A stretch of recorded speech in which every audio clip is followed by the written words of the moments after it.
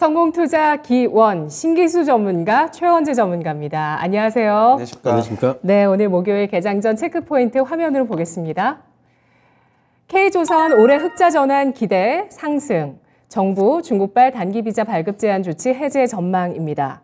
오늘 조선과 중국 reopening 관련주 확인해 볼 텐데요. 먼저 조선 확인해 보겠습니다. 조선은 요즘 들어서 이야기들이 많습니다. 원래는 올해 실적이 흑자 전환할 것이라는 얘기들이 연초에 많았었고 또 연초에 수주 소식이 계속 이어지면서 뭐 괜찮았었는데요. 근데 최근 들어서는 1월에 글로벌 선박 수주 점유율에서 우리나라가 중국에서 뒤처졌다라는 점, 그리고 여기에 현대미포조선 적자가 발표되면서 이번 주였죠. 그러면서 목표 주가 하향 리포트가 나오면서 또 현대미포조선 주가는 하락세를 보이기도 했었는데요. 조선 올해 흑자 전환 기대에 포커스를 맞춰야 될까요? 어, 일단 이제 그 요즘에 이제 그 엊그제 이제 현대미포조선이 실적 발표가 나왔는데 혹시 이제 작년 4분기에는 예, 흑자를 어, 하지 않을까 기대를 했었는데 적자 또 나오면서 어, 같이 빠졌습니다. 근데 이 부분이 제 생각에는 이제 어, 지금처럼 추가 하락 부분이 오히려 조선주들은 좀 잡을 수 있는 기회가 되지 않을까 생각을 좀 하고 있고요. 이제 그 근거가 되는 게 어, 이제 수주는 어차피 올해 수주는 기대가 그렇게 많이 없었어요. 그러니까 수주는 장, 네. 제가 계속 말씀드렸습니다만은 작년 피크일 거다 수주는 계속 예, 말씀을 드렸고 뭐 네. 시장에서도 작년 피크라는 것은 거의 다들 이제 뭐 그렇게 받아들이고 있는 분위기고요. 예, 그럼에도 불구하고 올해 뭐그 지금 현재 1, 2월 달 수주가 그렇게 나쁘진 않아요. 올해 목표치의 한 20% 정도까지 어, 그 채웠으니까. 근데 이제 현대미포조선은 올해 전체 수주 목표치 자체를 어, 작년에 비해 가지고 한 15% 정도를 낮췄습니다. 컨쿨에서 이제 그것 때문에 어, 주가가 더 빠진 부분도 있어요. 근데 이제 전반적으로 보게 되면은 올해 어, 현대미포조선은 이제 흑자 전환이 거의 유력하고요. 또 지난번에 나온 리포트를 보면 삼성중공업 같은 경우에도 올해 4분기에는 흑자 전환할 거다. 뭐 이제 이런 기대감들이 있고 한국조선해양도 그렇고요. 예, 전체적으로 조선주들이 예, 올해부터는 흑자 전환에 대한 기대감들이 이제 분명히 있다 이렇게 보이고요.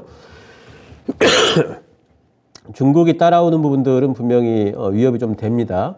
어, 하지만 아직까지는 LNG선 쪽에 있어가지고 특히 추진선 쪽에 있어가지고는 우리나라가 어, 뭐 거의 유력하기 때문에 기술력 부분에 있어가지고 어, 그래서 이제 단가가 좀 올라가고 있고 요즘에 그 신조선가도 어, 뭐 지수가 좀 올라갑니다. 작년 최고치가 162.12였는데 어, 지금 올해 일, 그 2월 달에 신조선가 지수가 162.51로 작년 최고치를 또 돌파를 해냈습니다. 어, 그러니까 지금은 이제 전체 글로벌 조선사들이 어, 이제 수주 물량들이 이제 그 꽉 차 있기 때문에 그런 부분에서 단가가 좀 올라가는 부분들 이런 부분들이 이제 어, 긍정적으로 좀 볼 수가 있겠습니다. 일단 차트 보도록 하겠습니다. 현대유포조선인데요. 굉장히 많이 빠졌죠. 그래서 올해 수주 뭐 작년 수주 피크에 대한 그런 부분들은 다 우려가는 것들은 반영이 됐다고 보고 있고요. 이제 어 과연 상반기 때 흑자 전환을 하느냐, 이제 하반기 때 흑자 전환을 하느냐, 이제 이런 부분들에 대해 가지고 이제 얘기들이 나오겠지만 예, 바닥은 잡을 걸로 보고 있고 흑자 전환 기대에 대한 리포트가 나오게 되면은 예, 반등이 충분히 나올 수 있다 보고 있습니다. 어, 또 한 가지 저는 이제 선사들보다 계속해가지고 기자재 쪽 말씀을 좀 드리고 있죠. 어, 선사들이야 뭐 주가가 뭐 이제 그런 얘기에 따라 가지고 왔다 갔다 한다 할지라도 어, 기자재주들은 분명히 지금 수주봐 놓은 거 올해 만드는 것만 하더라도 거기 납품이 많이 되기 때문에 뭐 태광 같은 피팅주들 또 성광밴드도 있고요. 어, 지금 다들 이제 현대미포조선 빠졌기 때문에 밑에 대기하고 있죠. 한국카본, 뭐 동성화인텍 같은 보냉주들도 있고요. 어, 이런 종목들한테는 분명히 올해 예, 호재거리가 많을 거다라는 생각을 하고 있습니다. 네, 그러면 조선은 투자를 할때 그 지금 보여주신 현대미포 조선 같은 경우도 이제 박스권의 하단으로 가파르게 내려와 있는 상태인데요. 어, 이럴 때 좀 바닥 잡기를 하는 전략으로 조선주를 접근할 것인지 궁금하고요. 그리고 조선 기자재 같은 경우는 또 어떤 식으로 접근할지 지금 뭐 오늘 장에도 당장 접근 가능하다고 보시는 건가요? 어, 일단 현대미포조선처럼 선사, 전 선사 쪽에서는 그냥 현대미포조선 딱 한 종목 보고 있어요. 네. 선사를 하시려면은 현대미포조선을 하셔야 된다 생각을 하고 있고요. 어, 물론 지금 당장 지금 이제 떨어지고 있기 때문에 에, 뭐 조만간에 바닥은 잡을 걸로 보이지만 예, 조금 이제 기간 조정이 좀 필요하니까 좀 기다렸다 잡으시는 게 좋고 네. 어, 가령 이제 피팅주 뭐 태광 같은 경우, 성광밴드 같은 경우에는 현대인피부조선 많이 빠지는데도 그렇게 많이 빠지지 않죠. 예, 이 얘기는 뭐냐면 이제 올라가려던 와중이었는데 에, 근데 이제 현대인피부조선이 빠지니까 못 가는 것도 있고 또 아직 실적 발표가 안 났습니다. 저는 실적 발표 이후에 올라갈 걸로 보기 때문에 어, 피팅주들 또 본행주들 해가지고 전체적으로 지금도 매수 구간이라고 보고 있습니다. 네, 그렇습니다. 조선 올해 수주 전망은 작년 못지 않았습니다. 작년보다 못했습니다. 그러면서 수주에 대한 기대는 사실 낮아져 있는 상태였고요. 실적 흑자 전환 전망들 우세한 모습이었죠. 이 가운데서 현대중공업이 지난해 3분기 흑자 전환 시작을 했고요. 삼성중공업은 올해 9년 만에 흑자 전환 예상, 현대미포조선 흑자 기대했는데 적자가 나오면서 주가가 이렇게 떨어졌습니다. 조선주에 대한 투자 의견 최원수 전문가도 전해주시죠. 뭐 일단은 현대미포조선이 실적 발표하면서 안 좋은 소식이 나오고 그러면서 현대미포조선 주가 하락했고 그러나 이제 대우조선해양이라든가 차, 대우조선해양 차트 잠시 보시면요. 많이 올랐다가 지금 조정받는 모습. 삼성중공업도 그렇고요. 한국조선해양도 마찬가지입니다. 이 세 조선업체들 같은 경우에 주가가 올랐다가 지금 조정받는 거는 어, 연초에 수주 소식이 이 3사에 있었어요. 그렇기 때문에 그것 때문에 뉴스가 나오면서 주가가 올랐던 것이고요. 현대미포조선은 연초에 수주 소식이 없었기 때문에 주가가 못 올랐고 그리고 안 좋은 실적 발표하면서 주가가 지금 내려가고 있는데 뭐 현대미포조선이야 음 바닥을 좀 조만간에 잡기는 잡을 것 같은데 좀 당분간은 조금 어떻게 본다면은 좀 관망해야 되지 않나. 6만 원대까지도 들어설 가능성이 충분히 있다라고 보고 있고요. 과거에도 이제 보면은 작년 1월에도 2022년도 1월에도 6만 5,500원이 저가였는데 그 이후 이후에 6만 원대를 계속적으로 어느 정도 좀 바닥 다지게 하면서 11만 원까지 올라갔다라고 본다면은 조금 주가 조정을 좀 더 기다리는 것이 낫지 않겠나라고 보고 있고요. 전체적으로 지금 중국의 1위고 우리나라가 2위인데 우리나라가 2위인 것은 역시 지금 현재 LNG선의 수주를 수주 많이 받아 놓고 있고 뭐 탱커선이라든가 그쪽도 많이 받아 놓고 있는데 일단은 물량 조절하고 있는 과정으로 보고 있어요. 예전처럼 그냥 무작정으로 많이 그냥 수주만 해 놓고 어 그 이후에는 일감 없어서 그냥 어떻게 보면은 쫄쫄 굶는 것보다 네. 지금부터 미리 그냥 물량 조절하는 과정에서 중국이 지금 1위다라고 저는 그렇게 보고 있기 때문에 음, 뭐 조만간 바닥 잡으면 다시 올라갈 것이다 그렇게 보고 있지만은 뭐 단기간에는 조금 돌아서기는 힘들지 않겠나 저는 그렇게 보고 있어요. 네, 신조선가 같은 경우도 최근 상승세에 나오고 있다는 소식도 들리던데요. 조선주 잘 접근하는 해안이 필요할 것 같습니다. 올해 실적은 흑자 전환으로 주목을 받을 수밖에 없는 실적주로 조선주 분석해봤습니다. 이어서 두 번째 이슈 함께 보시죠. 정부 중국발 단기 비자 발급 제한 조치 해제 전망. 기존에 지난달 말까지였는데 이달 말까지로 중국발 단기 비자 발급을 중단했습니다.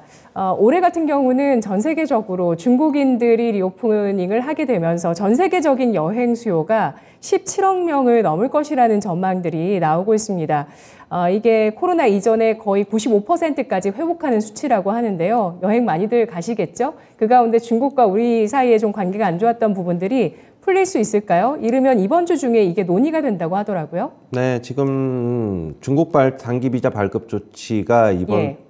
달 말까지로 원래 돼 있었는데 조만간에 해제할 것으로 보고 있습니다. 빠르면 내일서부터 혹은 다음 주부터 정부는 해제하는 방안을 좀 논의할 것으로 좀 보고 있는데요. 지금은 국내 코로나 유행 상황이 뭐 마스크 벗었는데도 상당히 안정적이고 그리고 중국발 입국자 양성률도 1% 안팎으로 낮은 상황이어서 어, 방역적인 측면에서는 해제에도 무리가 없다고 판단한 것으로 좀 보고 있습니다.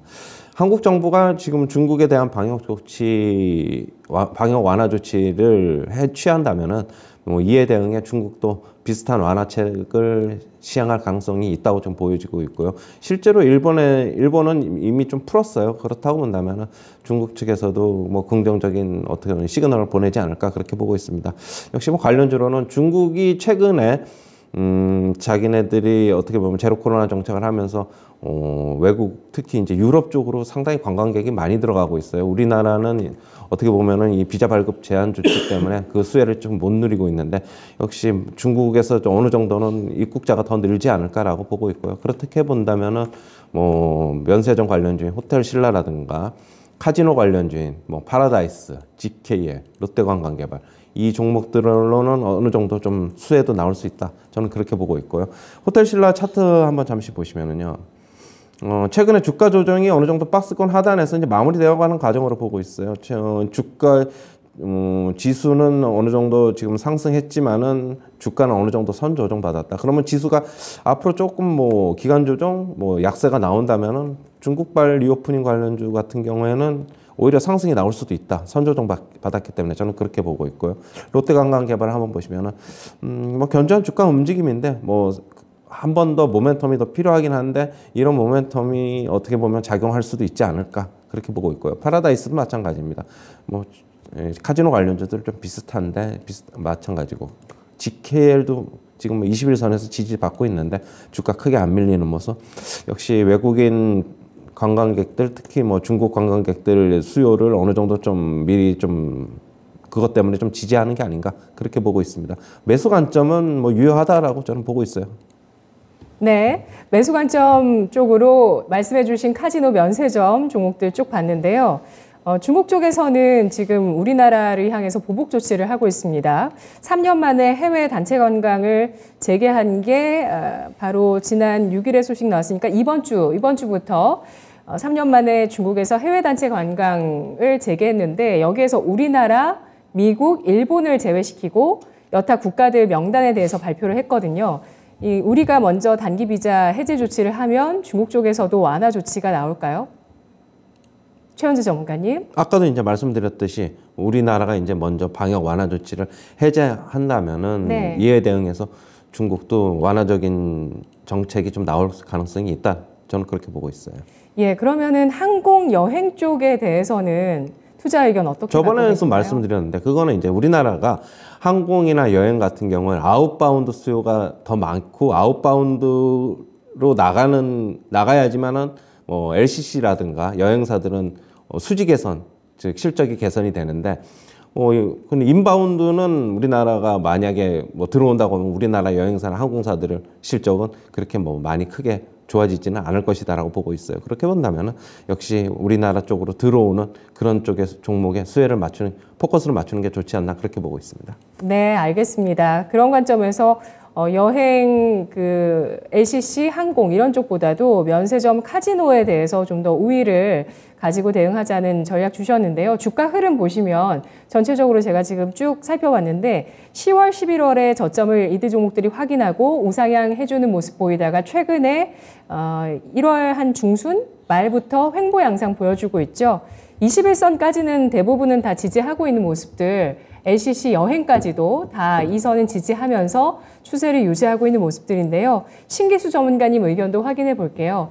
우리나라에서 중국의 단기 비자 어, 그 규제에 대해서 해제를 하면 관련주들 움직일까요? 음, 예, 그 부분은 뭐 계속 지속적으로 저는 이제 한 번의 모멘텀은 더 있다라고 계속 말씀 좀 드렸었고요. 어, 뭐 중국 소비주들도 그렇고, 뭐 화장품도 그렇고, 뭐 그리고 이제 카지노도 요즘에 좀 쉬고 있죠. 어, 쉬는데 많이 안 빠집니다. 예, 파라다이스 같은 경우도 옆으로 횡보입니다. 뭔가를 기다리는 느낌인데 뭘 기다릴까 생각해 보면은 결국에는 이제 그런 뭐 비자 발급 어, 중단이 해제된다든가 중국 쪽에서 우리나라 비자 발급을 다시 재개했다라든가 어, 이런 소식을 기다리지 않을까 뭐 이제 그런 생각을 해볼 수가 있고 항공주도 저는 계속 해가지고 중국도 뭐 일본 수요 뭐 해외 쪽으로는 수요는 계속 될 걸로 보고 있어요. 제주항공은 오늘 리포트 나온 것 같네요. 뭐 1분기 사상 최대 실적 달성. 그럼 제주항공이 그렇다면 다른 항공사들도 어 뭐 그러지 않을까 충분히 또 그 기대를 해볼 수가 있기 때문에 어 중국발 모멘텀 예, 그쪽 부분에 있어 가지고는 올해 상반기 때 예, 기대해 볼 부분이 있다. 그리고 이번에 어 3월 초에 이제 양회가 있지 않습니까? 예, 그때 이제 경기 부양과 관련된 어떤 정책 발표가 또 있을 걸로 기대를 해볼 수가 있어요. 그렇다면 중국 관련주들이 뭐 철강이라든가 그런 쪽까지도 또 석유화학까지도 확장될 수 있는 여지가 또 있기 때문에 예, 그쪽까지도 관심을 좀 지금은 좀 둬야 되지 않을까 생각을 하고 있습니다. 네. 중국 reopening 수혜로 철강 화학 쪽을 보신다면 어떤 종목을 우선적으로 보는 게 좋을까요? 아, 전 뭐 적극적으로 보고 있지는 않고요. 예. 어떻게 반응을 하는지를 일단 한번 좀 체크를 하면서 대응을 해볼 작정입니다. 네. 화장품 주는 추세가 좋아요. 이 정도면 좋은 거 아닌가요? 예, 그 많이 꺾이질 않고 있죠 지금. 예. LG 생활건강만 워낙 기대치가 컸다가 지금 예, 빠져 있는데 저는 옛그 LG 생활건강도 뭐 결국에는 올라갈 때는 같이 올라가지 않을까 생각이 좀 되고 있고 그래서 어, 화장품 쪽에는 많이 꺾이지 않고 있기 때문에 어, 뭐 지난번에도 말씀드렸습니다만은 뭐 좀 모아가기 형태로 어, 투자가 좀 가능할 것 같다. 그리고 아모레 퍼시픽이나 아모레 지 같은 종목들은 뭐 올라간다 하더라도 이제 상승 룸이 이렇게 크지는 않을 것 같아요. 근데 이제 오히려 좀 작은 종목들 쪽으로 뭐 좀 더 되지 않을까.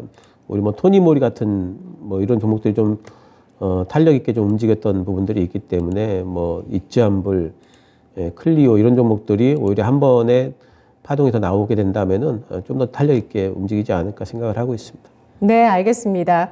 중국 reopening 수혜 강도에 따라서 그동안 쉬어왔었던 중국 reopening 주 가운데서 탄력적인 움직임을 보일 수 있을 만한 쪽 최원주 전문가와 신기수 전문가 전망해 주셨습니다.